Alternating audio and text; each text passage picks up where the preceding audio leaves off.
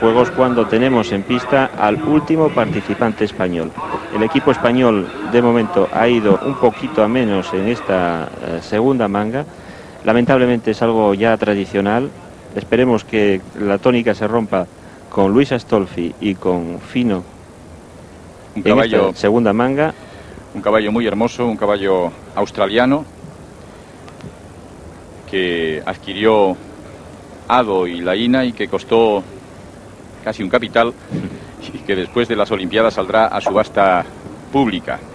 Se habla de 100 millones de pesetas y vemos a Luis Astolfi superado ya, superando obstáculos y lesiones que han quedado atrás para evitar así habladurías y para que se pueda observar que está en perfectas condiciones físicas después de una perfecta recuperación tras Muy el fuerte. accidente sufrido. Ha Muy superado a la ría. Montó ahí Luis Astolfi la ría.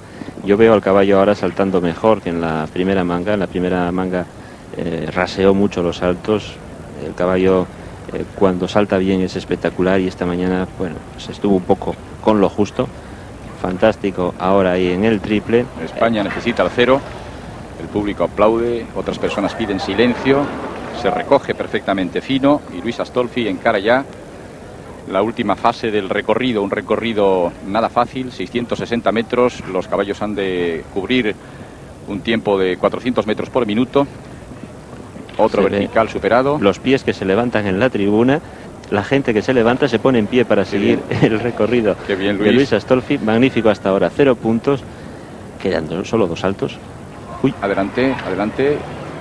puede ser 89, 90 segundos. Puede tener problemas de tiempo. No, Vamos no, a ver no, si no. no penaliza, no. A UPA. A UPA. Cero ha puntos. superado. Ha superado Luis Astolfi. Cero, cero, magnífico cero que necesitaba el equipo español.